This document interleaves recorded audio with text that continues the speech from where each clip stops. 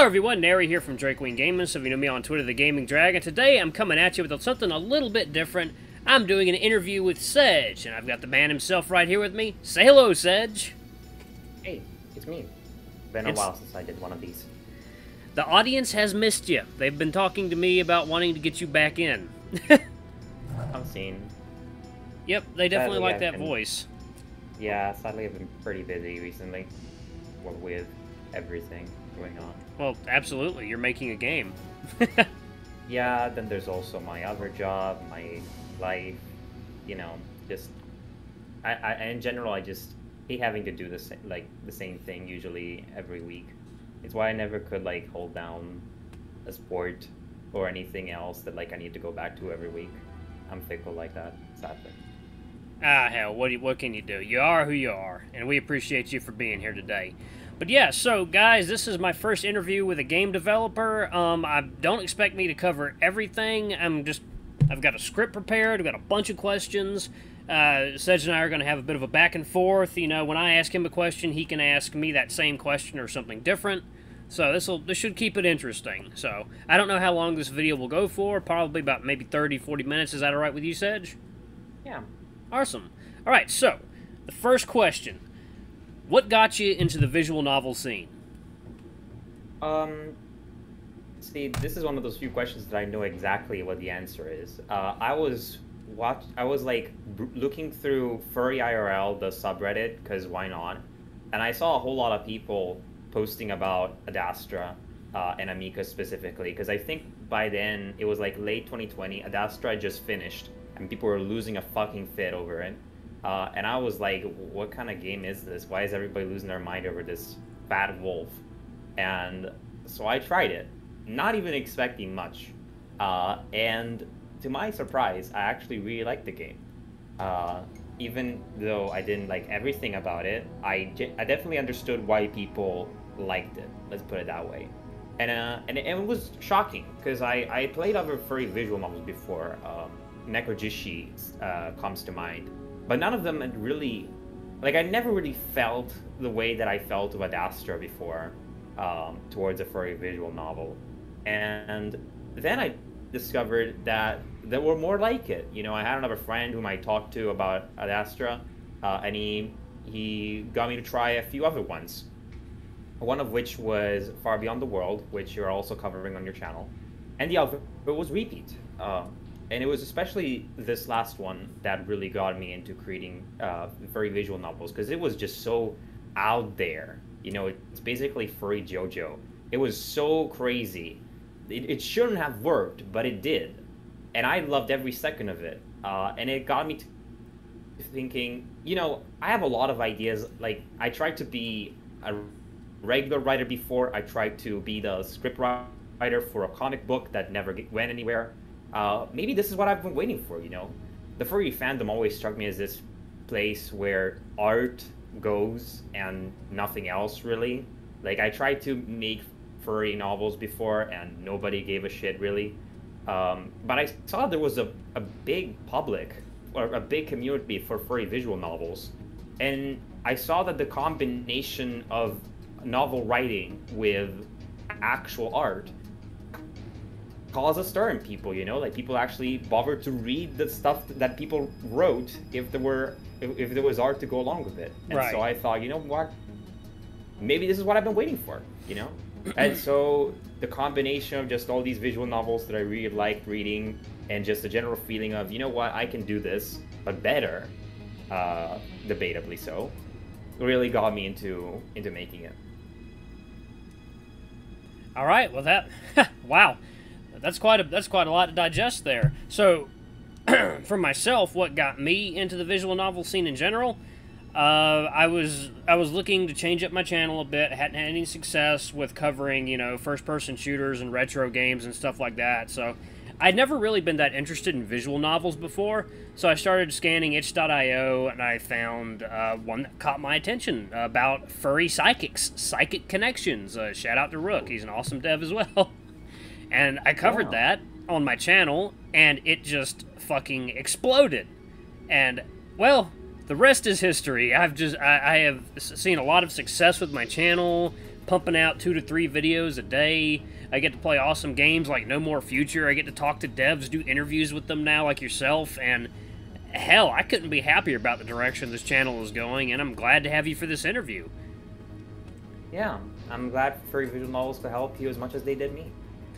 Oh, and uh, so I would like to make a little bit of an announcement, not to hijack the interview. I am actually working on a visual novel with Zereshro. Ooh. Yep, yep. It is. Uh, we first kind Like, of spit. as a writer or? Ooh. Uh, yeah, yeah. Yeah, I'm going to. I think he and I are, are, are writing it. We're, we're, we're still hashing out details, but uh, the original the original idea was to have like a horror romance visual novel. But I'm gonna shelve that for now. I'm gonna kind of do just like I would like to do like kind of like a a college, a college kind of gay romance. But yeah, just no no details right now. Just a little just a little teaser. All right, on to question two. What are some of your favorite visual novel games? Hey, Sedge? Uh-oh. One second, guys. We may have lost Sedge. Sorry about that, guys. Uh, welcome back. We had a little bit of uh, technical issues going on, but we're back. Uh, Sedge, can you uh, talk and let us know you're here? Yeah, uh, sorry about that. My internet got a little messed up, but now it should be fine. Okay, perfect. All right. So, uh, on did you say anything about the uh, the the visual novel I'm uh, that Zereshro and I are uh, talking about creating, or because uh, you kind of cut out? Oh, sorry. Um, yeah, I was saying that it sounds cool. Uh, I'm. It's, it's too early for me to say anything about it, but uh, I'm definitely looking forward to seeing where you where you go. I haven't seen you write like any of your writing so far, so it'd be interesting to see how you approach the medium. All right, and I'm I'm gonna do my best to impress everyone. Want to make a good impression. But all right, so on to question number two. What are some of your favorite visual novels? Well, like I said earlier, Repeat really uh, defined me going forward. It's what inspired me to start my journey into this medium. Um, but early on, aside from that and Adastra and Far Beyond the World, which later I dropped sadly, uh, there weren't a lot that re- a lot others that really sparked my attention. Um, but lately, things have changed a lot. Uh, I've tried a lot more, and I have to say that right now, my favorite of all time uh, is Remember the Flowers. And I don't say that just because it's another quote unquote safe for work, but not really visual novel. It's just the plot is just great, you know. Uh, I've read it, I, I've been reading it. Uh, I, I think I started right. I, I started reading it uh, in like towards the start of a year, maybe. Uh, and at first, I thought that like the beginning was very slow and stuff, but every update after that was like was really good. Like I know you haven't covered it yet on your channel, and I don't want to spoil anything for you, but I have to say that novel just gets better and better every update, and it's definitely my favorite of all time for a reason. Um, then second after that is Nevin, uh, which is a like a quote unquote dark fantasy kind of novel. Uh, the protagonist is a bard with no magical powers in a world where everyone has them, uh, who's trying to win a competition. Uh, and yeah, both novels are really solid. Like, even though, especially the latter, um, I, I'm not a fan of the art style for Nevin, but the but the writing is really solid. Um, and it's the same thing with Remember the Flowers, where you can really tell that the creators are putting a lot of effort into writing their stories. They're not just pandering to an audience. They're not just doing this because, you know, m- fuck it, let's do it. They're doing it because they care. And you can really tell when somebody cares about what they're doing, about what they're writing, about who they're writing to. Um, and yeah, right now these are my favorites. Awesome. Okay, so like you were you were What about talking you? about. Oh, I'm sorry. Go ahead. No, no, uh, you were saying? Oh yeah, I was saying like so for me, uh, you were talking about Nevin. I actually got approached by the developers and they asked me to cover their game, and I'm actually planning on doing that very soon. Um, I, I like the look of it, um, and I'm very I'm encouraged by it now because you said the writing is strong. That's kind of make or break Yeah. with me with visual novels. It has to have good writing. hmm Yeah, like to me, from my personal experience, the best novels are written by people who are very approachable with, in regards to criticism. Because I have played all these novels on stream, oftentimes with the creators or parts of a dev team present, and you can really tell who writes amazing games by the way that they react to criticism. Because the people who write the best games are often the most respectful when it comes to handling criticism. They, they say, Thank you, I, I, I appreciate you saying that. We'll keep that into consideration. And oftentimes, they, I'm not saying that you need to apply every criticism that you get or even consider it, but oftentimes the people who are most open about discussing the flaws of their games instead of just focusing on the good sides uh, without throwing a hissy fit anyway um, are the ones that really write the best stuff because they were the ones who who reacted the best to my critics, uh, and and it shows. Like they, their their novel is just really really excellently written, and there's nothing you can say about that. I think the the, the worst thing that I could possibly say about Nevin, for example, is that the beginning is a little bit slow, but like that's part of the course for, with furry visual novels that I've seen. Um, and so yeah, that's one thing that I um, that I can recommend. All right, awesome. Yeah, like I, I do. I don't. I don't mind a slow start. Like so, like when it comes for me, like when it comes to storytelling and like horror movies, for me, I love slow burn. as long as there's like I'm the opposite. Okay, like for me, as long as there is a good amount of payoff at the end or near the middle or something like that, I, I love the buildup of tension. Mm-hmm. All right. I mean, I'm I'm, I'm not sorry, like saying like you you don't have to like I'm fine with with taking it slow if you have something to say basically. Like if it's just slow for the sake of dragging it out. Oh no, I don't uh, like that. this- yeah. I don't I don't mind slow beginning as long as there's a purpose to them. Um, Absolutely. but in general, yeah, I am a I am a proponent of starting off very strong, uh, which is hilarious considering that I kind of don't. well, it depends. Oh, I love the start of I love the start of No More Future. Really. Oh yeah, absolutely. I think it's Would great. you classify that as a slow or a, or a fast start? Um, I'd say it's about right in the middle. Hmm. Like I don't think it drags its feet too much. Um, I think it establishes uh, the uh, the characters, the situation they're in, and then it then it kind of just hits the ground running from there. Mm-hmm. All right, Yeah.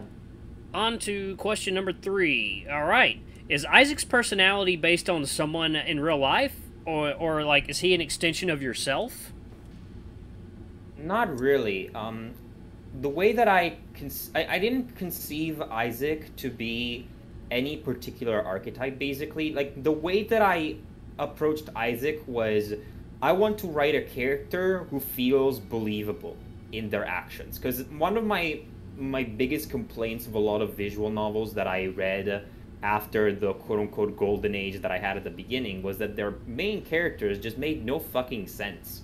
They would react to things in a completely a nonsensical way, just making choices because the plot told them to do it, basically, and not really thinking about what they were doing, not providing any explanation, not providing any emotional reasoning.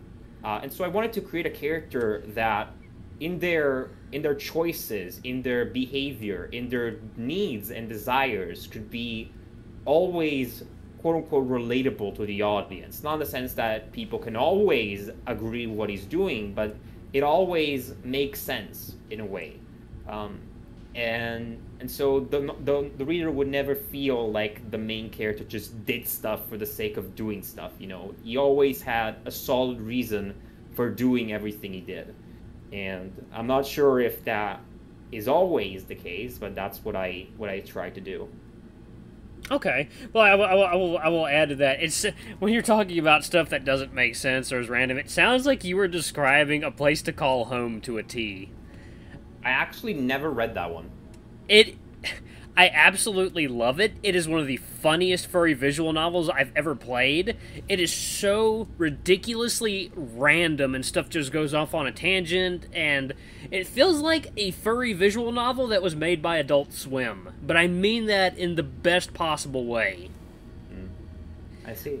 All right. Yeah, so I've, I've heard of a couple others that uh, that, that fit the description, and played a few ones myself. But I'm I'm I'm not, I'm, not, I'm gonna not mention those. yeah. Um, I will also say that um, in general, all of my characters represent some part of me to a certain extent. Um, like, not I, I I'm I'm there's a meme in my community that that uh, the cat that I use for my profile picture, uh, who's like appears at the end of every build, is my persona. But I actually don't have a persona because I generally cannot conceive a single character who could possibly represent all of me. Because I'm just fucking all over the place, dude. Um, so instead, every character, or almost every character that I write, has some piece of me in them. Um, with Isaac, for example, it's my it's my fears uh, towards uh, towards the future, the ones that that started this whole adventure. Uh, with Mary, it would be my my desires.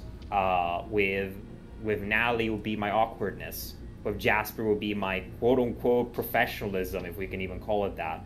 Um, in general, there's always a part of me in every character, and that's what helps me relate to them. It would, it's what helps me write them to be, even though they're clearly exaggerated, still human in a way, if that makes sense. Right. Okay. Mm, Great answer. All right. So this is a this one is a little bit of a palate cleanser. Do you have any favorite books you'd like to tell us about?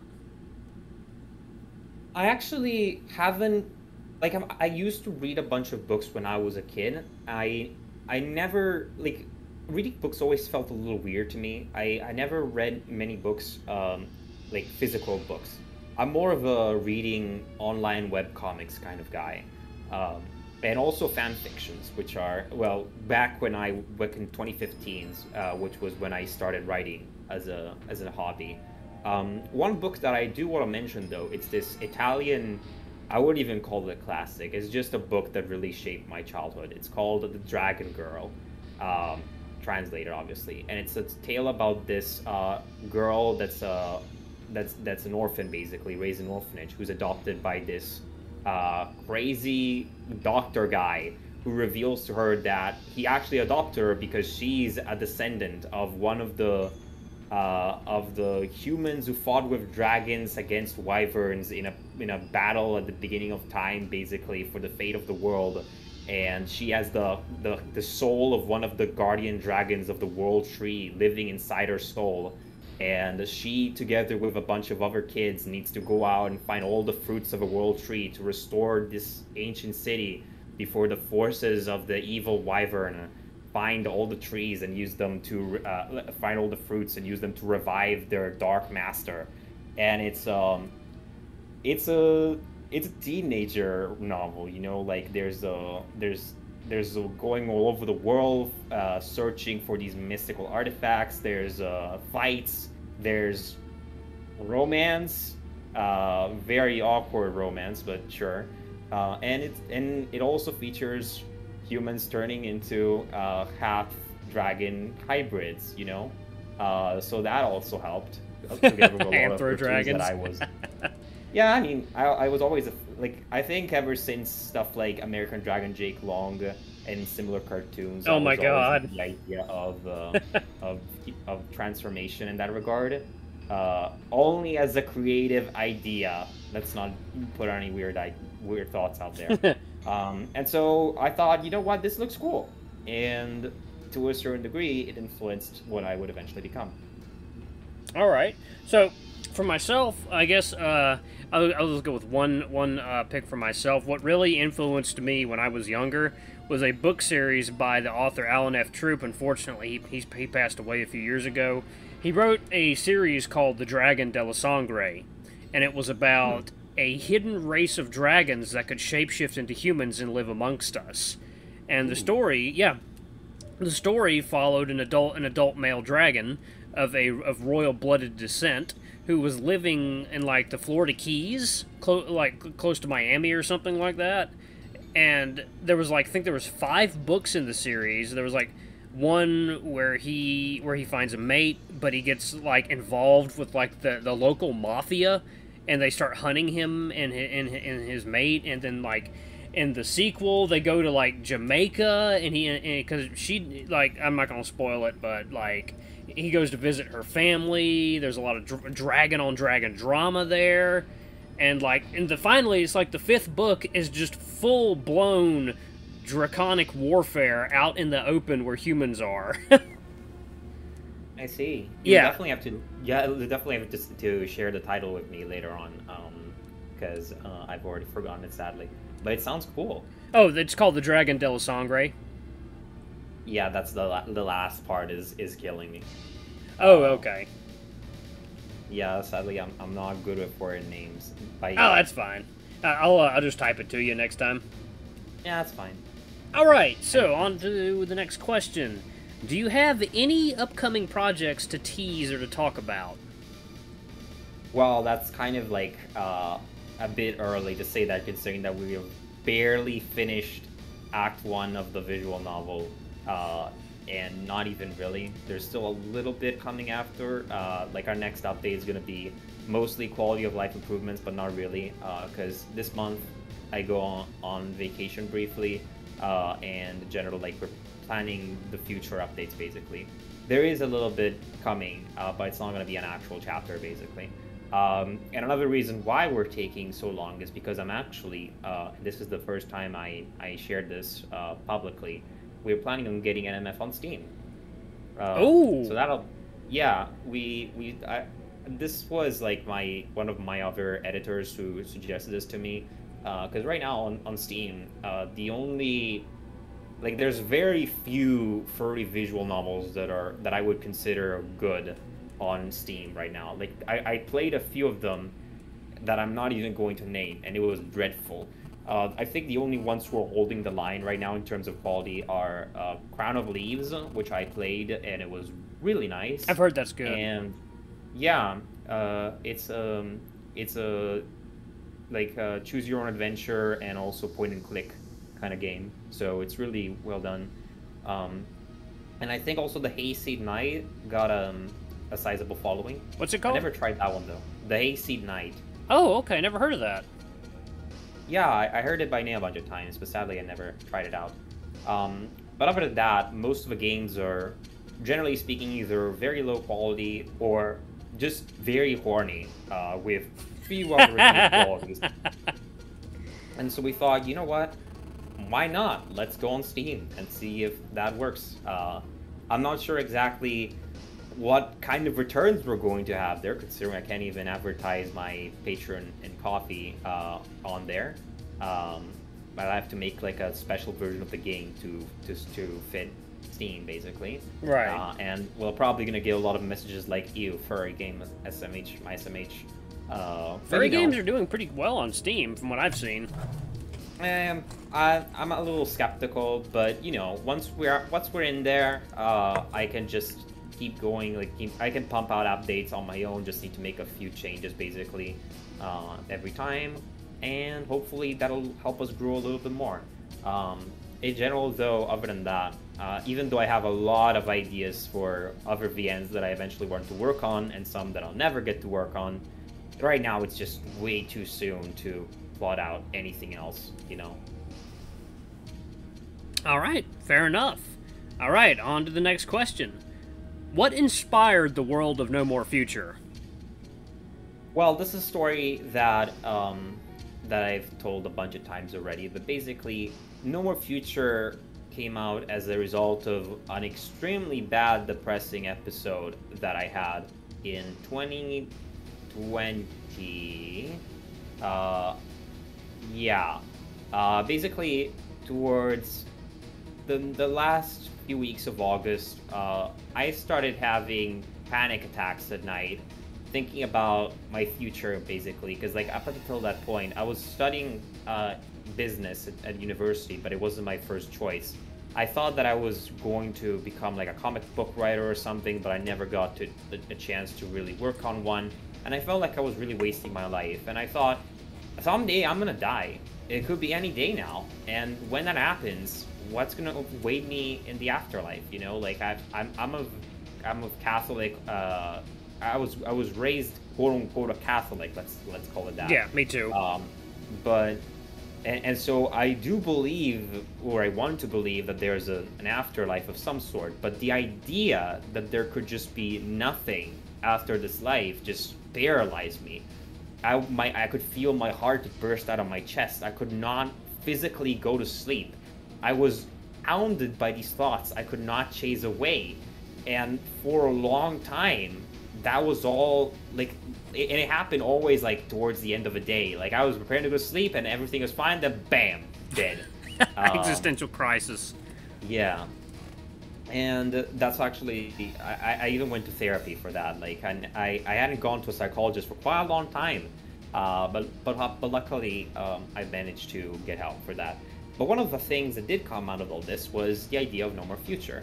Uh, the idea of a person who has to constantly wrap their heads around these kinds of things. You know, kind of to wonder whether what, what's going to await them in the in the afterlife and stuff. And so I don't recall exactly what led me to develop the world of NMF, but that's more or less where what caused me to be inspired to create such a thing, basically.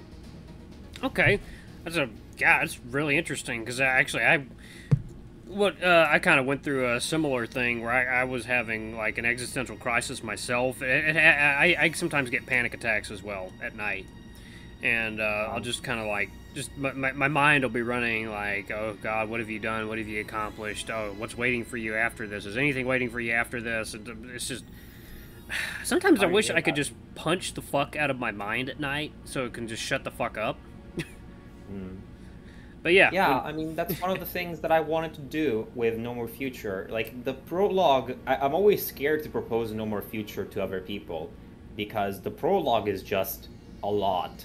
Uh, it's very direct, very in your face, very fuck you, you're going to get an existential crisis right now, and there's nothing you can do about it. Um, but to this extent, I think that I achieved in my in my goal, which was to be relatable to a lot of people because at some point everybody goes through what Isaac did, or, or at least like what I did. Uh, everybody starts wondering about these things, wondering the, the meaning, the value of their life, the possibility of an afterlife, what, what, what this all meant basically in the grand scheme of things. And so, in this regard, I think that I succeeded in creating an experience that a lot of readers can immerse themselves in and really understand and, and connect with. Yeah, uh, I agree. I think you did as well. I think you've done a great job with it so far. I'm glad to hear that. Okay, so number seven. What got you into the furry fandom? Uh, uh, this is a little bit difficult to explain. Um, I don't remember exactly what it was. I was browsing YouTube, and at some point I saw a video poking fun furries or something, or maybe shitting on them or something. Uh, it, it featured a lot of drawings in them that the person I don't, I don't even recall exactly what kind of video it was. I just I just saw there were a bunch of drawings of furries basically, and I thought they looked fine. So I, I never heard of the term furry before, so I started uh, googling it. I was like thir- 12 or 13 at that point, uh, and I found a lot of cool drawings, and then lots of drawings that uh, featured body parts that at first I was a little bit curious what they were but eventually I realized, oh shit, that's a penis. Um, that's that that's interesting.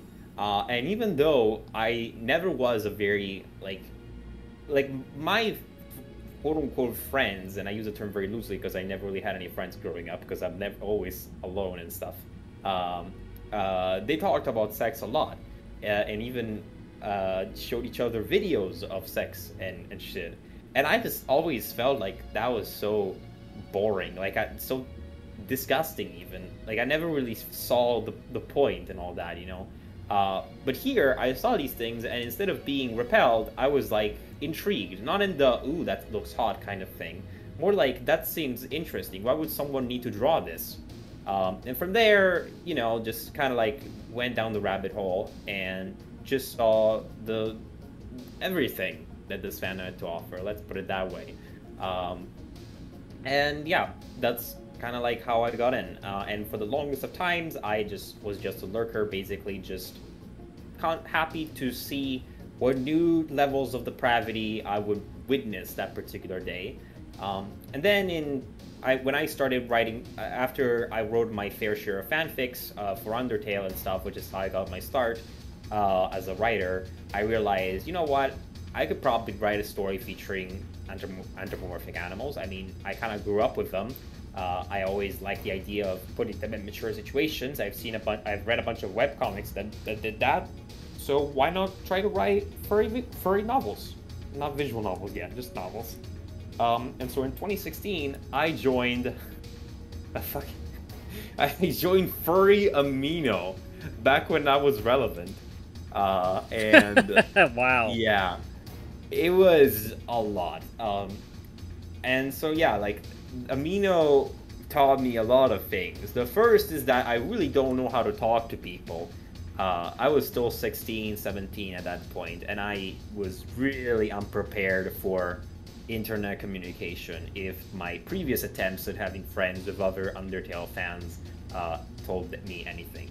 Uh, the other thing is that, again, furries really don't give a shit about writing, because even on Amino, uh, the only things that really, uh, like, they, they had a trending tab and everything, and the only things that would ever trend on there were uh, artworks and persona, uh, like fursuit pics.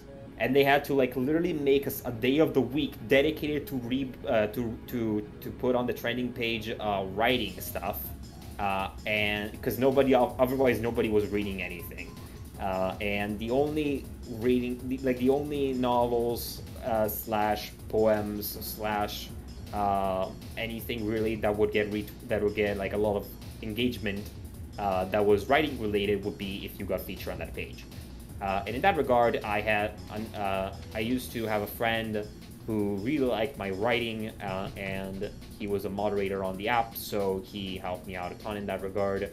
Um, insider trading, you could say. Uh, I'm kidding. Like, at the end of the day, I don't, I don't think my my writing from that from that era was particularly bad, but it wasn't particularly good either. But still, the fact that at least I got some semblance of engagement and like the idea that if only it could be marketed correctly people could theoretically read what I wrote was enough to keep pushing me further and further.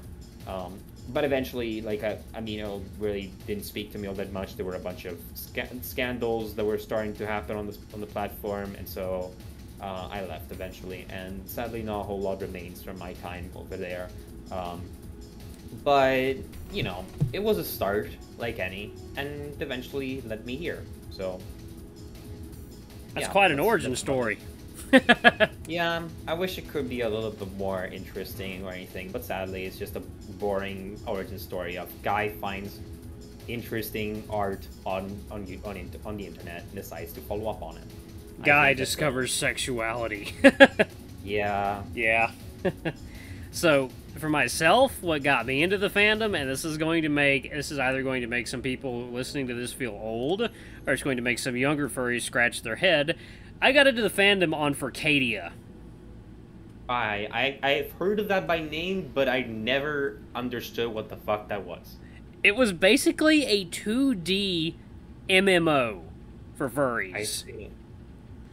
Huh. yeah, it was basically just like kind of like a big social hub. Uh, they had like user made content that would be called dreams that would be uh, it would use like uh, custom made assets or uh, or assets made by by the devs and everything. And yeah that's where I met some of my um, my best friends at the time. There was a guy named Ray. There was a girl named Xanada Drake uh, uh, Suko was my wolf sister yeah that's where I really got into the fandom and I started the fandom off as a werewolf and how do you how do you find Furcadia? Um, actually, I just I had some friends who got me into it on uh, Yahoo Instant Messenger. God, I feel even older now. Mm. yep, Yahoo Instant Messenger. But you're uh, really gonna make a lot of young people feel like they're out of their. Out a, lot of, a lot of young people ain't gonna know what the fuck I'm talking about. True. Oh my god, yeah, all you young furries out there, look up Furcadia. It was awesome back then. It was revolutionary back in the day. Alright, so let's move on to... Ah, yes! A pressing question that I know has been on everyone's mind. Will Jasper ever find happiness? Um, good question. Uh, like I don't know.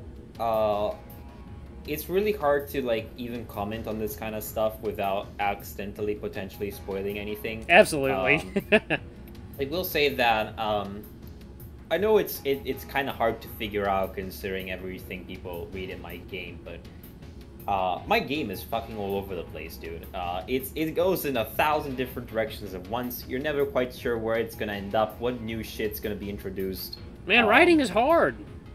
I mean, writing is fun. I don't know about hard. Like it's it's definitely hard a bunch of times, but it, but it's more so because I'm lazy as hell. Yeah. Um, when you're trying to keep track I'm of everything. Writing, it's not that bad. Um, but mostly, like what I'm trying to say is that my novel will go some really interesting places that nobody will see coming. I am 100% certain that nobody's figured out. Like I, I, I see a bunch of.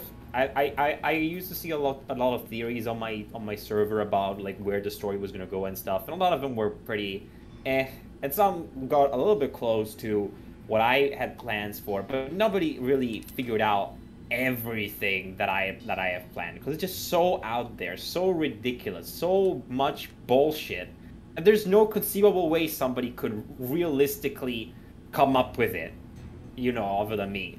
Um, and so, will will Jasper find happiness? Depends on whether the plot will be crazy enough to allow for it, you know. All right, fair enough. Yeah, I'd, I'd, I would definitely like to see him unlodge that stick from his ass at some point. Yeah, sadly, business people be like that. I would. Yep. know. Oh yeah, I, I, I used to work alongside corporate. I worked for a major telecom company for a few years, and I worked alongside corporate people all the time, and they're a lot like Jasper.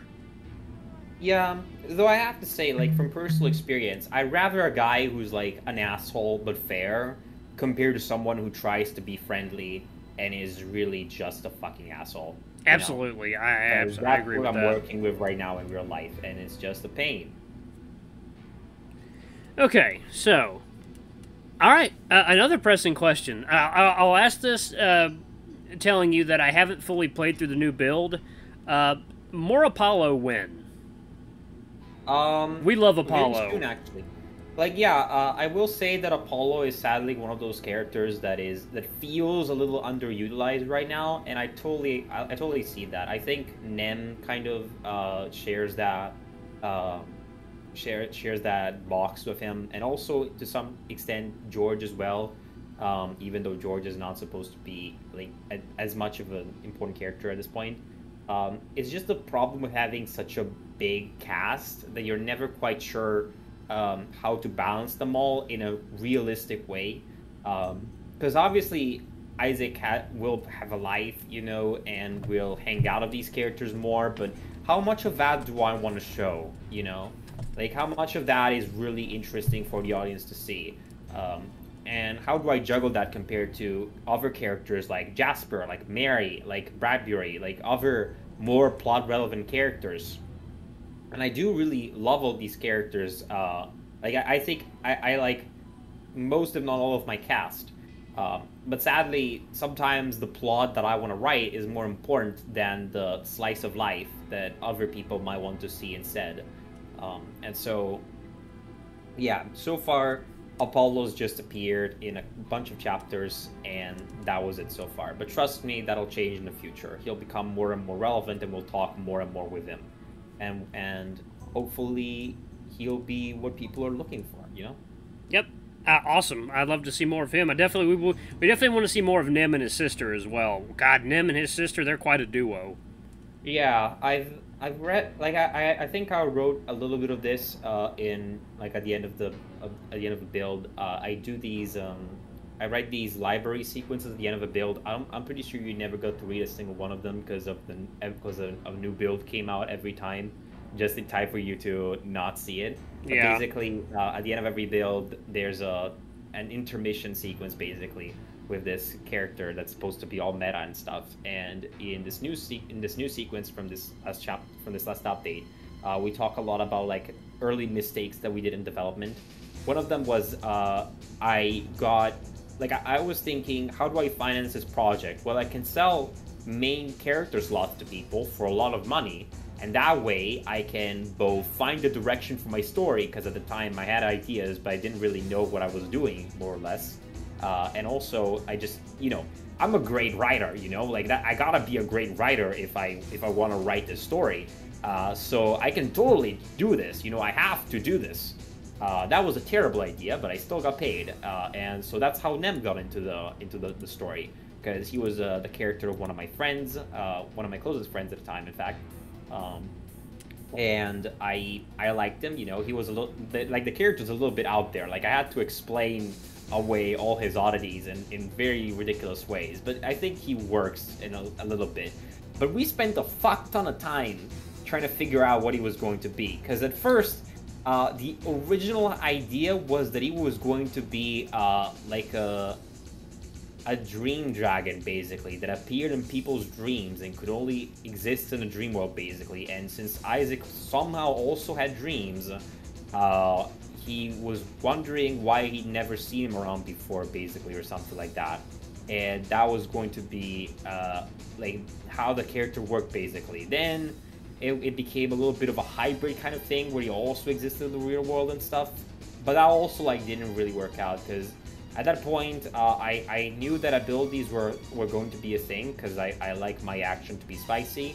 Um, but I, I felt like that was going to be a little bit of a stretch and also that was going to like tip the audience a little bit too much in the Isaac is a real person kind of thing because like I, I do want to keep throwing the idea that maybe he's his own person, maybe he really is his old self, maybe he's something else entirely, you know. The question of uh, the like I know lots of people tend to project onto him and therefore uh, he has to have a soul for that reason. Um, but I really want to keep it ambiguous uh, up until it won't be, um, or assuming that's what's going to happen. Um, and so I felt like having something like that in the game would have tipped too much the audience in favor of uh, Isaac having a soul. Um, and so we scrapped that, went back, and eventually decided, you know what, he's gonna be Isaac's old friend that we never introduced before in any conceivable way, but now he's his old friend, and it's going to be very important.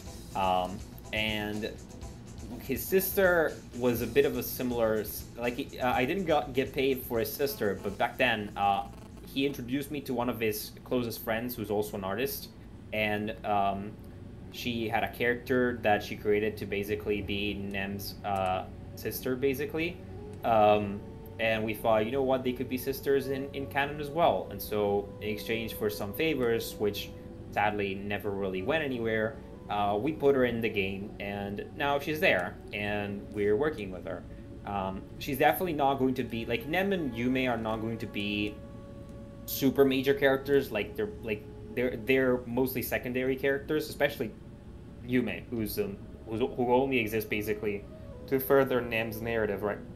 Let's put it that way.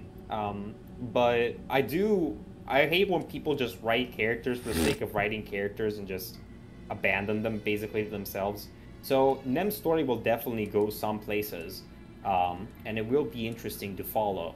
Um, and it's just uh, it's just that I prefer writing uh, other character stories, you know, which is sad. Um, but sadly, I'm more of a like I, I you can tell where I put most of the effort when writing No More Future. It's in the it's in the action sequences, in the drama, it's in the political stuff, uh, the the philosophical talk, and sadly, Nem is for the moment is just regular slice of life, you know. Um, and so right right now he's there we'll see if in the future he develops uh, to become something else. Um, but yeah, that's it for now. All right, oh, awesome answer. Explains quite a bit. All right, yeah, so sadly, early Sedge was a really dumb Sedge. Early Sedge was a dumb Sedge. I think it can be said for most of us. Our earlier versions were dumber than our current versions. Yeah. All right. So, this next question How often do you collaborate with other creators? Um, I usually don't shy away from um, from collabing. I often uh, like when, when I have a, a, creator that I really respect uh, or a story that I really like, I will offer collabs. Uh, for Supernova, for example, I was approached by Rot uh, to do this. I don't recall exactly why he wanted to do it, um, but we did it. Uh, recently, we had to stop though because I think that um, he wants to move. Like at the end of the day, the No More Future reference in Supernova is a bit uh, strange. Makes it seem like our stories are connected and stuff when they're really not. Um, we did toy with the idea though at some point. Um, but yeah, like the problem with collaborations is that uh, any story that wants to take itself seriously wants to stand on its own, basically, uh, cannot really reference another story unless it's serious, you know. Um, so as much as I want to, you know, do cameos and collabs, uh, like the one I did with Rook, for example, uh, who uh, appears in the um, in the in the bar CG in chapter Yeah. four. Um, sadly, it doesn't happen very often, you know. Um, and I don't think I ever did another collab since then. I'm, I'm really trying to think hard on that, but sadly, I, if, if I did, I completely forgot. All right, that's fair. It's always nice to hear how you and other creators get along. You know, how you vibe together, how you work together. I always, I just always think it's it's interesting how kind of a tight knit community like this uh, talks. Yeah, sadly, like um, my my problem is that I tend to come off a bit strongly to other people. Um, I tend I, I like to think that it's very obvious when I'm joking, but uh, it kind of goes from person to person. Some people can tell that I'm joking. Some people can tell but really don't can't stand it. Um, and so, to me, public relations have always been really hard um, because of that. I do tend to I, I do support that creators should be nice to one another. You know, like there's really no reason to have enemies in this community. Uh, at the end of the day, we're all trying to do our thing, and doing our thing supports other people doing their own thing. Because of course, once somebody reads a, a visual novel and they like it, they tend to go on and read other visual novels. So in this in this sense, one person's success is the success of everybody. Um, but sadly, you know, shit happens. You know, people come like have disputes. They just don't mesh well. Um, and sometimes it ends poorly, uh, which is what you tend to try and avoid. Uh, in general, I always believe that people should always be open to try and smooth over uh, mistakes of the past uh, and just try not to hang up on stuff. Um, sadly, that can't be applied to everything. Uh, there's always going to be a couple of individuals in every community that you just can't reason with, um, and you know you just have to deal with it. You know. Yeah, absolutely. I agree with you. But Okay. In general, I, I, I just rather not talk about any specific, uh, create like as much as I like to talk in generals, I'd rather not go into the specific because otherwise people start thinking I'm talking about them, uh, or that I'm talking about this person they know, and they start hounding me about it, or got or drawing their own conclusions. And Ah, it's really furry drama. Yeah, it's everywhere. there's some, in this in this community. There's, there's some new shit every day for Yep. real. Yep, people love And their then I have to explain it to my family, and then I have to explain 10,000 other things they need to know before they can understand what I'm talking about. Yep. Um, so please stop doing that. yes, you heard it here first, people. Please stop doing that. Knock that shit off. Whatever you're doing, stop. Yep. All right, on to the next question. This is, this is a bit of another uh, little palate cleanser. What kind of uh, uh, non-visual novel games are your favorites? Um, I I was always um, I got my start with uh, Age of Empires and Age of Mythology, especially similar games on my PC. I love Age Uh, of I- Mythology. but I also, but I like I, I played a fuck ton of stuff growing up, mainly Nintendo stuff. Uh, I was never a, a PlayStation. Like I, I had a PlayStation One and Two, uh, but I never really considered myself a PlayStation player. I never tried an Xbox. I was mostly just an X, just a Nintendo and PC kind of guy. Uh, and in general, my my favorite genres have always been strategy games uh, and management games. Um, so turn-based stuff, RPGs, um, city builders. Um, right now, I'm playing a lot of Against the Storm, which is this uh, roguelite city builder that's in early access right now. One second. All right, no problem. Um, yeah, sorry about that. You're good. Um, and so, yeah, like I, I've always got a new game that I'm trying out every. Like sometimes I get a, da- a game that I'm playing for like months straight, but usually I just play one game for for a while, and then I played something else entirely. You know. yeah. Um, Yeah. But yeah, in general, I just play lots of turn-based uh, strategy games and stuff. Okay, so for myself, when I was younger, I actually I remember on uh, my parents had like a Windows 98, and we went to uh, Tallahassee in Florida, and we went to the uh, the the Babbages that they had there before they just renamed it to GameStop, and I went to their PC section, and I saw this this this box sticking out from the side. It's a little bit worn, but I uh, I grabbed it and I pulled it, and I looked on the cover, and it was Unreal. And from that day forward i well i've been like very majorly into first person shooters. Unreal for me and i'm actually the, the soundtrack that's playing in the background of this video is the ost for unreal but uh, yes I, I absolutely i love first person shooters. I love adventure games rpgs rts games. I love open world games. I love exploring. I'm an explorer by heart. But yeah, I'd say that some of my all-time favorites are uh, let's see, uh, Doom, Quake, Unreal, Unreal Tournament. Um, I'll say um, uh, Supreme, the Supreme Commander series. Uh, not not as much of a Duke Nukem fan as a lot of other people are. I, I think I think it's just it's, it's just all right. I don't I don't think it's aged as gracefully as a lot of other genres, especially with what Gearbox has done to it. but yeah, that was that. I think that'll about do it for me. All right, let's go on to the next question. Okay, so what direction do you see the visual novel landscape going in in the future? Like, how do you think it'll evolve, or how do you think it'll change? Well, it's kind of hard to predict because it's always gone in 10,000 different directions at once. Uh, for the most part, it's always been very dating sim kind of focused, very romance focused, because, you know, uh, not only is it a favorite genre of a lot of people uh, who read these kind of novels, uh, but it's also what pays the bills uh, in many scenarios. Um, but lately, you see a lot of projects that don't really appeal to this main fan base. Like Remember the Flowers, for example. Sure, it's uh, it's it, it features a lot of quote unquote simping, but not really. Like not in the way that, for example, Marco sims for Amicus and Adastra or uh, similar visual novels. Like it's a different kind of novel that takes itself very seriously, uh, even when not talking about romance or sex or whatever. Um, especially considering he never talked about sex to begin with, but still. Um, and lately, there's also Glory Hounds is treading new ground. I love it. Um, yeah, there's um, there's a lot of new projects coming out lately that are just trying to do their own thing and often putting their own unique spin on the on, on the formula, or sometimes even ditching it entirely and going in completely different directions.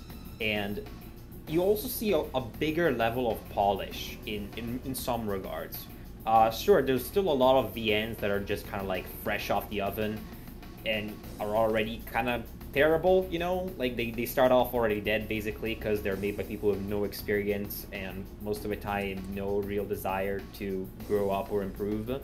Uh, not calling anyone out, by the way, just my own impression. Um, but you also see a lot of these high budget, high invest, like sometimes not even high budget, just high investment, high quality novels that come out and just sweep everybody off their feet. Uh, Glory Hounds is one. I've also heard really nice things about Soul Creek, which I eventually want to try. I've never heard of that. Um, apparently, it's another My Wolf novel, but not really. Uh, it came out strong with like a 60,000 word first build, uh, which was which sounds crazy because 60,000 words is a lot. Um, and so yeah, right now it's kind of hard to tell where it's going to go from here. The furry visual novel scene is always going to be like a very amateurish scene, so we're always going to see lots of like very, again, amateurish VNs out there. That's never going to change. I think that's part of the part of the the- fun, though. yeah, but where the the high echelons, let's call it that, of furry VN stories go from here, that's going to be really exciting because it's really interesting to see um, what kind of new shit we're going to come up with next. You know, I think the furry visual novel scene has always been like this crazy place that's just completely off the mainstream uh, and can just pursue whatever the hell it wants to do without having to worry about what sells, what's what's what's palatable, what's popular. Um, and so it's interesting to see where we go when we combine this niche interest with higher and higher levels of quality and resources and and, and, and development. You know. Yeah. So I'm just gonna Personally, put. I want to see more safe work stories that focus a lot of action and big drama. Ooh, Yeah, I'm kidding. yeah. I could I could definitely get behind that. What I wanted to throw out there, just I just want to throw this idea out into the ether to see if someone makes it into something. Furry mecha harem. I mean, furry mecha. I think there's already a novel like that. It's called ICO. Um, it's made by uh, Cetus. Um, it used to be fairly strong, but then I think it's being remade right now. I tried out the new prologue that he put out recently, and it's really cool. So I don't know if it's going to be a harem, but it's definitely mecha. okay. Hmm, that sounds interesting. I'm gonna have to check that out. It's called ICO. Yeah, ICO, Mach- Machina Lutris. ICO. So, ICO. Yeah, not not ICO, the game from the creators of Shadow of the Colossus, more like ICO.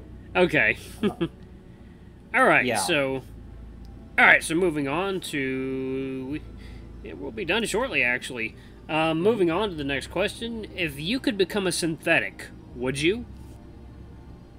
I mean, I do think that, like, probably yeah.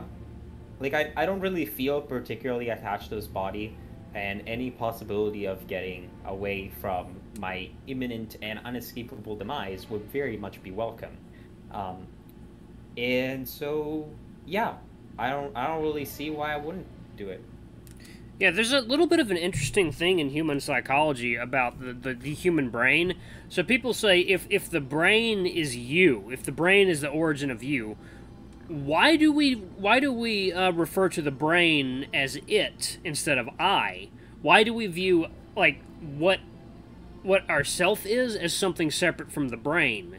That, to me, that uh, to me, I, I, I like the I just like the idea of that. Like, who, Yeah, your your body is your body is not you. Your body is an Because, like, extension our body is like this incredible machine that we know absolutely nothing about. Like we can kind of like control it subconsciously, uh, but we never really start out with all this knowledge of how it works. Like we have to learn how our body works. We don't just start out of that knowledge. It's really crazy.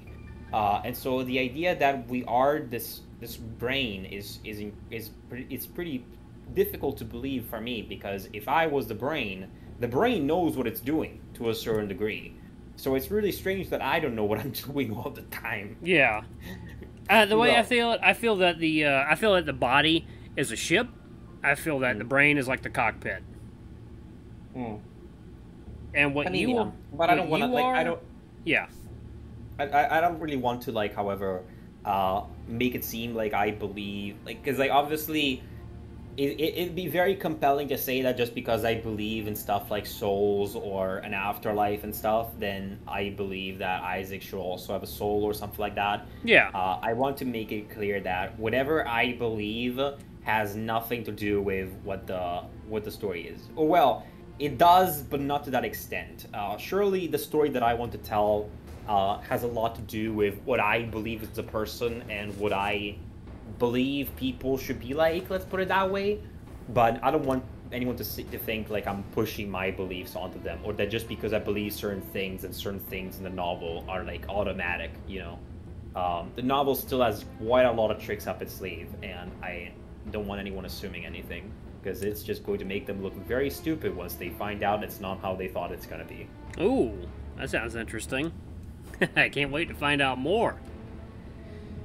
All right, so on to the next most one of the most pressing questions of this entire interview. I know it's on the minds of everyone else listening in right now. What the hell are those things hanging off Natalie's collar? Uh, good question. Uh, I have no fucking idea. I, I, I look Yeah. at them and they look like pins. Um, the thing with characters uh, is that I usually know what a character is like in my head. Like I conjure up these characters as like these almost like perfect beings in my head, basically that I know almost everything of. I immediately can come up with a character's backstory, their motivations, their personality. They all come off as distinct voices in my head, basically. But then when it comes to actually designing their person, their, their actual physical appearance, I'm always at a loss. Um, and so with Nick, uh, my artist, the way that we decided was like, you know what? I have a few characters that I really know what I want them to look like. I think the the few ones in right now are like Daphne, um, who's um, who I really wanted to to look that way. Um, but everybody else, like people like Isaac, people like Jasper, people like uh, George, I was always very unsure. Like I knew more or less what I wanted, but I never, but I, but I didn't want to stress the details. And the same is true for a lot of the locales. Uh, so with Nick, I'm always like, you know, this is what I need, but you could do whatever the fuck you want with it.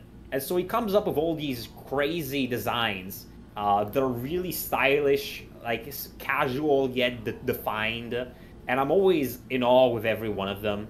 Uh, it's sometimes, sadly, they're a little bit like uh, they're a little bit too different from what I had in mind.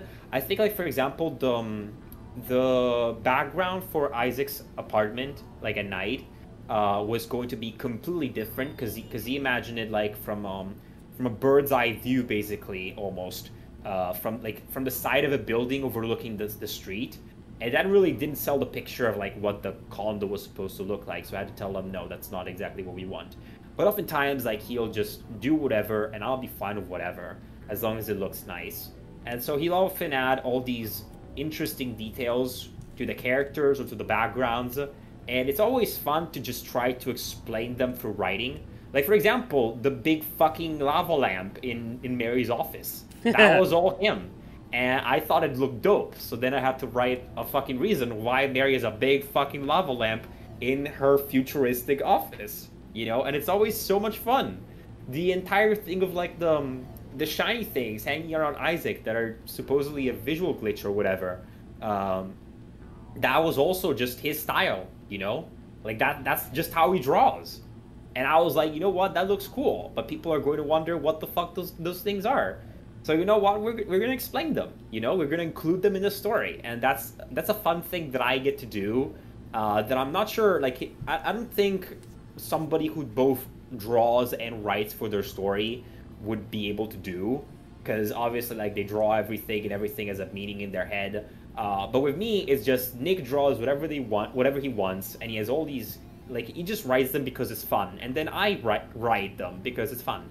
Um, and yeah, like I, I ideally don't know what those things of Natalie are supposed to be. Uh, I think probably Nick explained it a bunch of times, but I already forgot. But they're there and they look nice, and there's yeah. no reason to go in, in depth about them. So I just let them be, you know? They're just yeah. a part of her character. All right, awesome. I, I, have to say though that it's not not a color. However, uh, I, I had this discussion of him recently. It's not actually a color; it's just a part of her sweater. Oh, okay. Okay, fair enough. Uh, well, I do. So I will say, I do love the character designs in this game. I think they're awesome, and I think Isaac's yeah. design is like perfect. I think it fits him to a T. Yeah, that's one of the other designs. Like I, I showed a bunch of pictures of synths uh, because he never. I don't think he ever drew one before. He drew a lot of similar things before, um, I chose him specifically because he, he drew a thing uh, like at the start of, of 2021. Uh, I think I, con- I contacted him towards the beginning of February of that year, basically. Um, and he drew like a picture of like this half like half robotic anthro creature, basically. Uh, and it looked really sick. And that was exactly what I was looking for. Uh, but other than that, like I had no idea what, what Isaac was going to be, except the fact that he was going to be kind of a blank slate character, so we settled with white. Um, and in the end, his design was is still a little bit different compared to other synthetic designs, uh, to other synth design rather from Vader-san. Um, he kind of comes off as like his own character, which is good because since in this in this context they're very different compared to like the quote unquote canon synth lore, which is not really canon but still it's more like suggestions. Um, and I was suggested a lot. Like it, it was very suggestive, but in, in, the end, we created our own thing, and it, it's it looks really cool. You know, um, the only downside of this is that like Nick's style is very different compared to the usual uh, FVN artist. I think lots of people try to go with either a very realistic or a very anime style for their novel, and so Nick comes out with these shining colors and abstract uh, shapes and stuff, and there's a lot of people that told me that the novel like really looked way too dank for them, basically. Uh, which is always sad to hear because I, I think it looks dope personally, but you know, bias and all that. But I definitely do think that the novel, that the art style, like more so, even more so than the writing, is what sells or doesn't sell the VN to people. All right. All right. Awesome. Uh, thank you for explaining that. Okay, so are there any characters that you would ship together in No More Future? No. Um, I really don't care about like I, I I don't read visual novels for the romance or the sex. Like to me, that's just something on top of things. Like you know, like if, if, if I only care about it if it makes the story better, and if it makes the story worse, I can tell. Um, and so with No More Future, there was the question of whether I wanted to have no not not safe for content in the story, and I thought, you know, that's gonna make me a lot of money if I decide to go down that route. But a, that that feels kind of cheap, you know. Like at the end of the day, I don't I don't I don't want to succeed if the only reason why I succeeded was because I included porn in my story or romance or whatever. Uh, I want people to write to like the story because of what I actually wrote, you know, because of the of the political stuff, because of the philosophical stuff, because of the action, because of the intrigue, uh, the mystery, the the drama, you know, like the, what what I actually like. Like I wanted people to like the story for the same reason that I do, um, and so that's one of the reasons why I didn't do it. But the other reason why I didn't do it is just because I couldn't think of how the fuck I was going to implement all that. You know, like how was I going to realistically and most importantly satisfyingly include not safe for content in my story. Like sure i had a bunch of jokes like for example isaac discovering that he had a, a dick and finding and mary telling him uh, to use the robo dick for science or whatever. Like i had a bunch of jokes planned for such an eventuality but at the end of the day that's that's all i had just a bunch of jokes and no real purpose to exploring any of that stuff. So i decided you know what let's scrap it let's go the hard let, let, let's let's choose very hard mode on character select and decide to write the story that I want to write and make it as good as I can make it without having to force myself or feeling like I'm being forced to add stuff that I'm not comfortable adding to the game. Well, guys, you, you heard it here first uh, from Sedge. Sex, it's what's on top.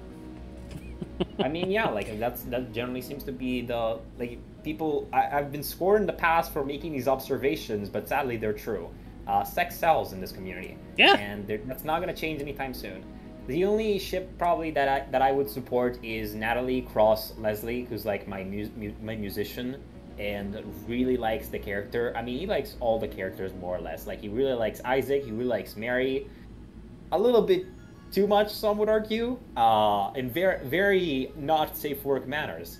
Uh, but you know, that's just that's just how he is. Uh, and I I mean, he can have Natalie, honestly. Like, there's really not no reason for me not to give it to her, but sad to him.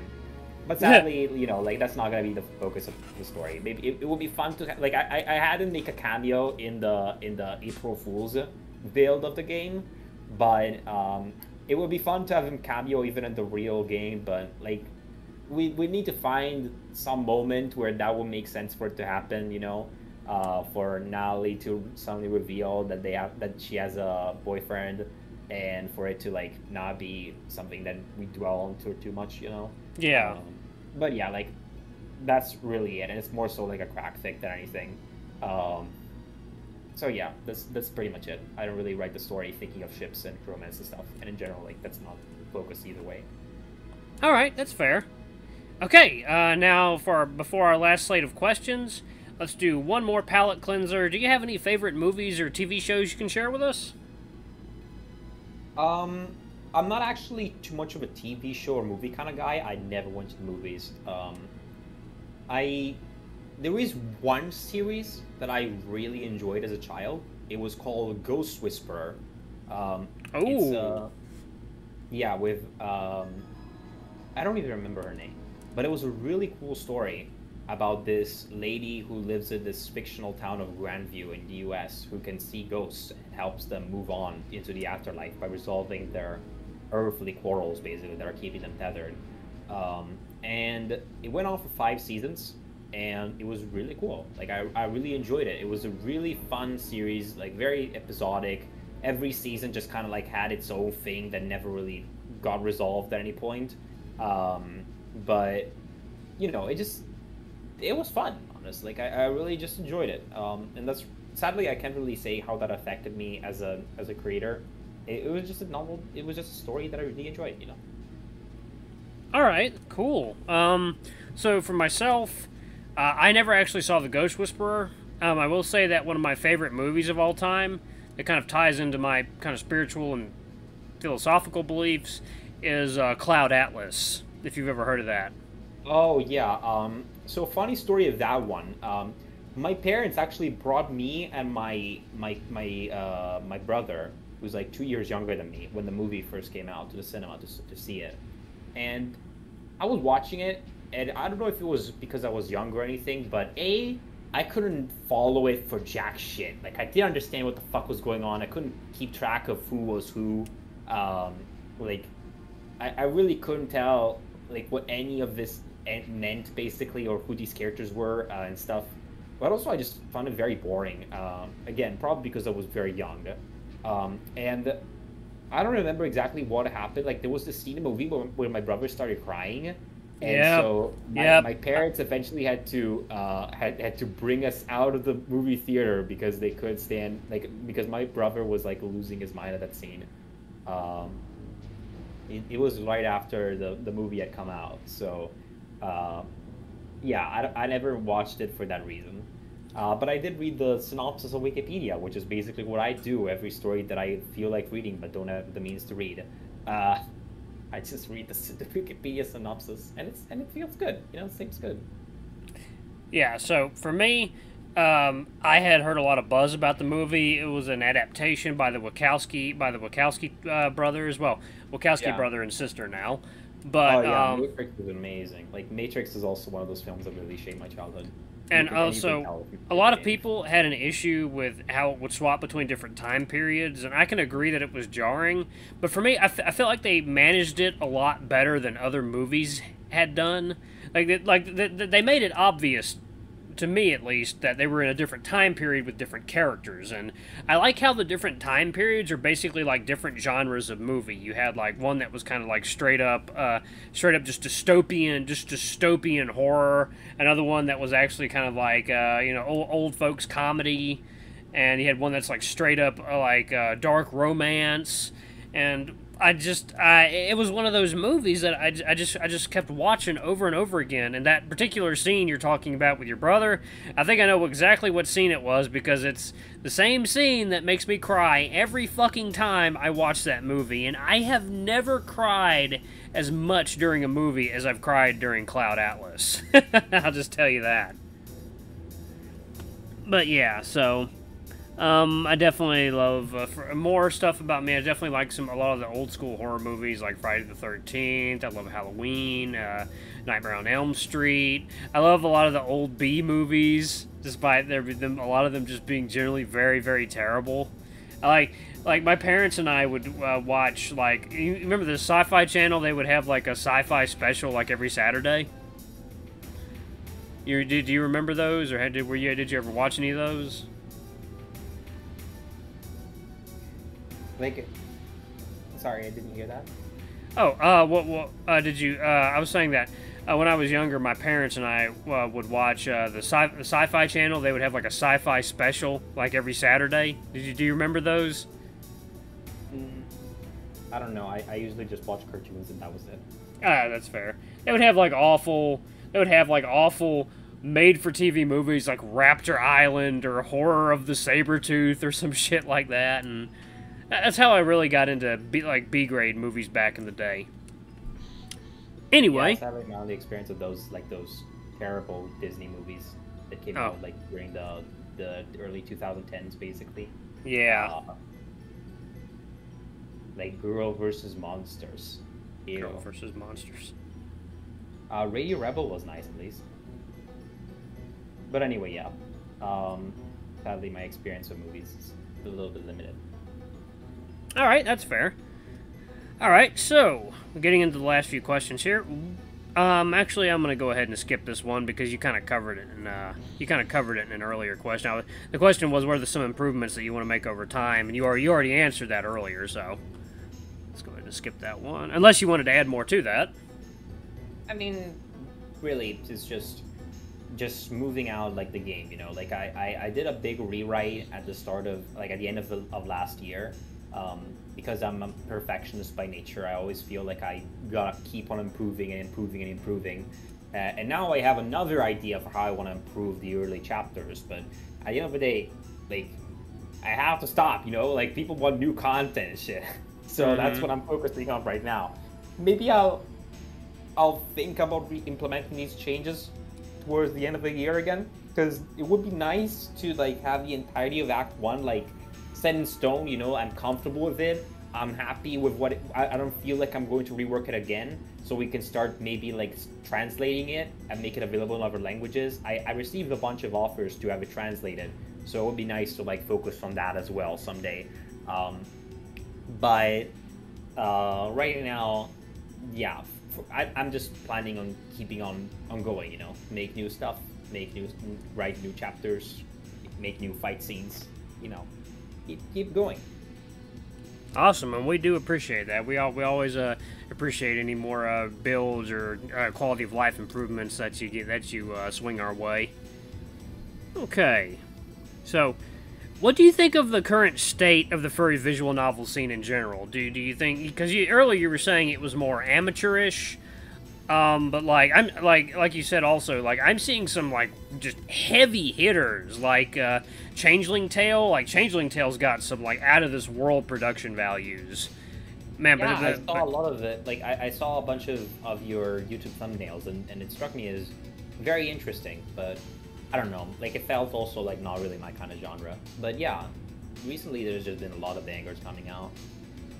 Yeah, like Glory Hounds has really just caught my attention lately. I, I love the I love the production values of that. It just comes across like just to me it feels like a whole new level. Like they're yeah. really aiming for the damn stars with this one.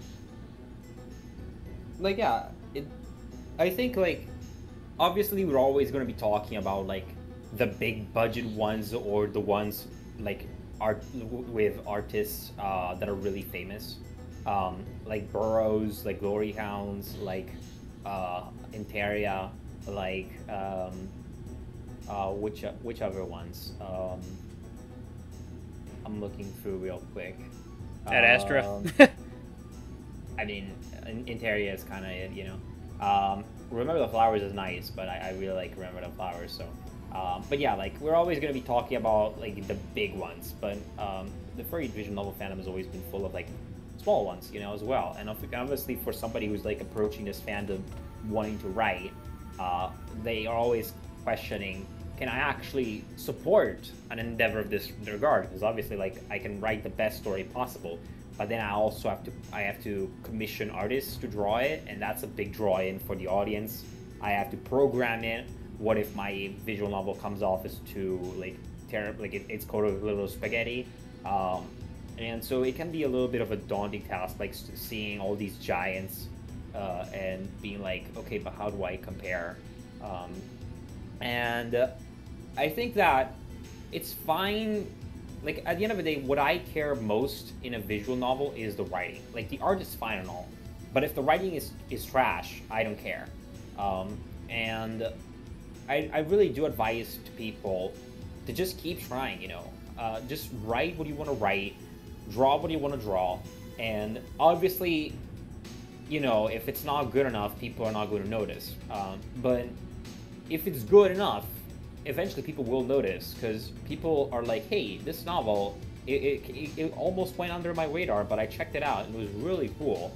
Uh, you should try it out as well. And it's like, like word of mouth is a really big motivator for people to check out other of visual novels. And so even if you feel like your visual novel is never going to amount to much because you don't have the budget uh, to deal with other people's games, as long as you are confident in your skill and are always eager to improve, um, it's more so like a matter of like uh, of attitude. You know, having the right attitude really sets you apart. You again you can really tell when when some, when a story is good because you can tell that the attitude of the person who wrote it is good.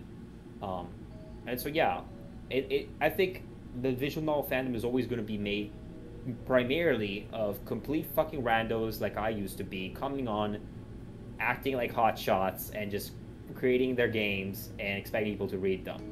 What I do hope in the future is that more and more people come in with the wisdom to actually realize that their first build is probably going to be trash compared to later ones, and to always want to keep improving their game, keep keep honing their skills, keep uh, keep improving themselves as people, you know, and just strive to always be better every day than they were yesterday, and that's what's really going to improve this fandom in general as time Ab- goes on. Absolutely, I definitely agree with all that. We just need to support each other, stay positive, you know, not be afraid to call out bullshit when we see it too. Yeah, I think like that's one of the things that I sadly have to take offense with with this fandom is the way that it handles criticism. Because um, I think there's mainly two types of FVN fan.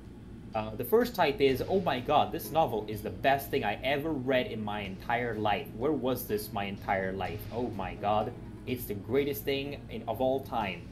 And the second kind is, oh my god, this is terrible. This is garbage. The creator sucks, and this is total shit. And I'm gonna make it my entire personality to tell you how terrible it is. And I will talk about it all the time to make sure you know that I think the story is shit. Uh, and the first group sees the second group and is like, oh my god, those guys are cringe. Clearly, everybody who speaks poorly of our favorite visual novel belongs in that second group. And so criticism like fair criticism is very rare in this fandom because you're either some you're either a lover or a hater in general. Um, and it's very hard to distinguish between people who criticize a game because they like it and people who criticize a game because they absolutely hate it you know? Yeah. Um, and so yeah it's it's it's an attitude problem in general. Like there's also there's also the problem that all these novels uh, are free you know? And when a novel is free complaining about it feels worse you know? At least like seeing people complain about them you're like oh my god why, why are you spending your time talking shit about this game? It's free. Don't you know the creator literally pays so you can read this shit?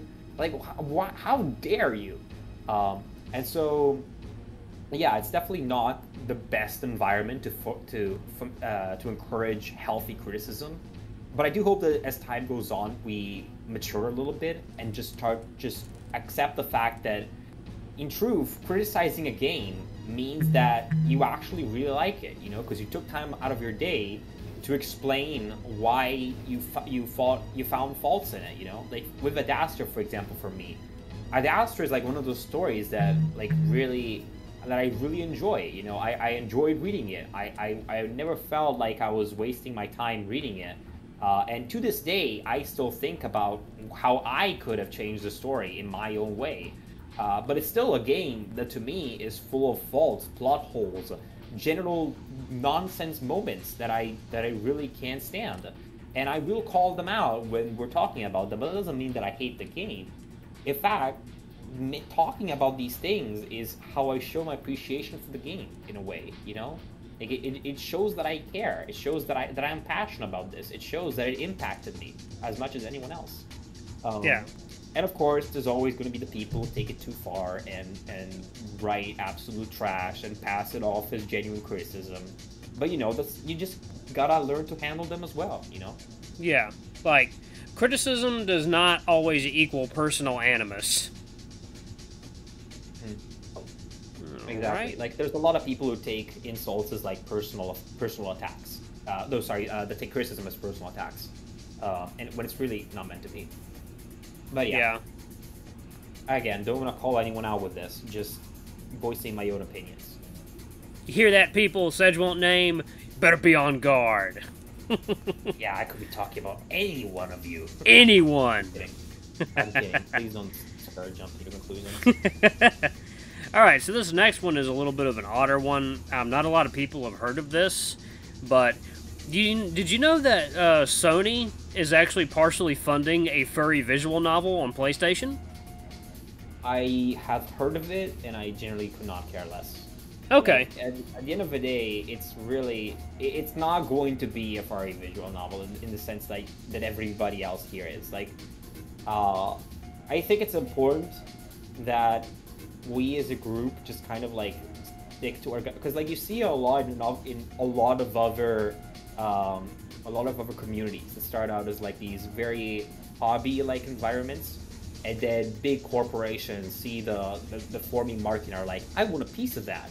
And then they create their their stuff that sometimes is even okay but it just doesn't have the same spirit you know? Like the people who made it are often not not in the same position as the ones who create regular stories you know like i the, the people who are creating this game if i had to guess are not in the same situation either. Uh, like they don't they don't have the same story backstory let's put it that way as a lot of other content creators for this for this platform. Platform yeah sure. Um, and so it's important that we just recognize that they're that, that they're trying to enter that they're creating a product meant for us but that we treat it as its own separate thing you know because otherwise we risk uh, them taking over the entire thing and then this just becomes another place where big corporations can can make money off of us you know Yeah, I. What was that? What was that thing? Was it Skittles? Was it was it Skittles that was trying to get the furry community to make a mascot for them? I think that was Skittles, wasn't it? I have no idea. Okay, yeah, it was like Never a heard of this. okay, it was like a thing on it was like a thing on Twitter where like Skittles was like uh, pandering to the fandom, saying like, oh, uh, we're we're doing like a uh, a, a Sona contest for Skittles, and this guy. I forget I forget what his Twitter handle is, but he popped on and said he'd give any he, he would give people like a hundred dollars a a hundred dollars like a pick to show for them to draw like the a bag of Skittles getting banged by a horse a, a horse avatar. and he gave out a lot of money for that. I just thought that was like it kind of shows like this fandom is inherently kind of uh, very suspicious and guarded against corporate interests. I think that's a good thing. Yeah, sounds like a, a furry thing to do, honestly. Yep. But for anyone who is uh, wondering what we're talking about, it's a game coming out for PlayStation called Goodbye Volcano High. Um, I'm looking forward to it because I like the production Yeah, I values mean, I on it. wanna- I, I don't want to like send people the message like don't play this game. No, at all. Like play the game. It's probably going to be really good. Just, th- just be cautious. You know, like Oh yeah, I mean, make sure it's not like a watered down every man's kind of product. yeah. Okay, now for the final question of this interview. Well, we've been actually going on quite a while, almost an I think almost an hour and thirty. Wow. All right, Yeah. where do you expect to be five years from now? Well, hopefully I'll be fucking done with the game by then. Uh, but probably not. Um, because I, I, like I said, I'm going to go in a lot of wild places this game, and considering that I'm lazy as hell, I really hope that I'll at least be close to finished by then. Uh, but it's really hard to say for certain. I definitely will say that after No More Future is done, I want to keep working in this field.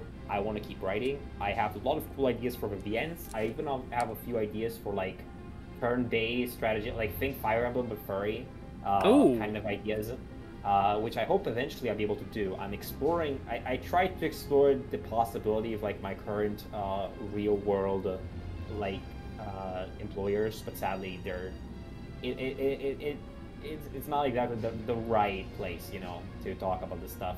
They don't make exactly that kind of games. Um, is how I got it explained to me.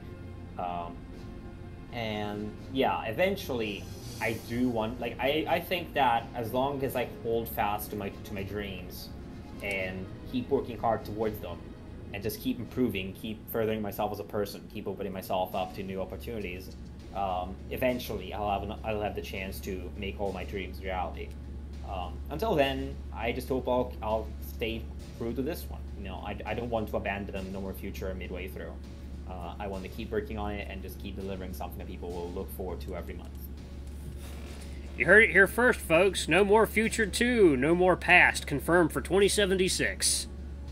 Uh, I don't think like like No More Future like is is part of this like timeline of stories that I want to write basically, but I'm not in, like I, I'm not usually a fan of like direct sequels or direct prequels. Like I'm usually just a uh, like a, a shared universe kind of person, you know.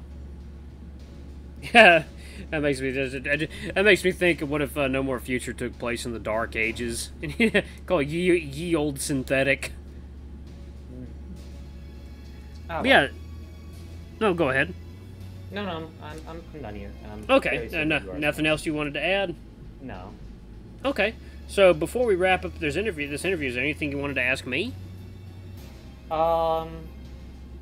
Well, kind of. I don't know. Um, You're in the hot seat. I don't know if you explained it before when you were talking about like how you started creating YouTube videos, but like how do you really begin the entire channel? You know, like what's what's caused you to try and become a YouTuber? Okay, so honestly, I got inspired back in the day by, surprise, surprise, Markiplier. I loved the old way of how, how he had his YouTube videos. He it had very my he had very little editing. He, he just kind of jumped into doing let's plays. Um, he just he, he had it was kind of like a raw experience that I really connected with because I love because I think in a lot of highly edited videos you miss out on a little a lot of these little moments with the creator that you wouldn't normally otherwise pick up on because they just get cut out on the cutting room floor and, and, and just uh, replaced with something that's you know just like more funny or you know oh more casual because I think that when you keep start heavily editing a lot of your videos and such, I think you lose a lot of those little moments that the audience will come to appreciate over time more. But yeah, that's what I tried to emulate with my channel when I first started off. I was just doing Let's Plays. In fact, one of the first games I did Let's Play of was Amnesia, The Dark Descent, one of my favorite games ever.